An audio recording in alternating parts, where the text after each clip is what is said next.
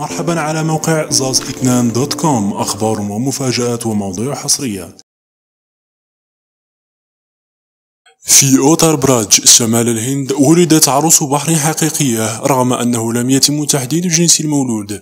هذا المولود يشبه عروس البحر التي نعرفها من الأساطير ولكنه لم يعش سوى عشر دقائق فقط. وقال الأطباء بأن الجزء العلوي من الجسم كان مكتمل النمو ولكن الجزء السفلي كان في طور النمو.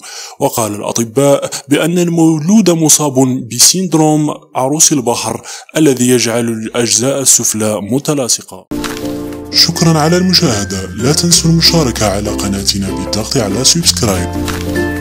وللمزيد من المتعة والإفادة زوروا موقعنا com.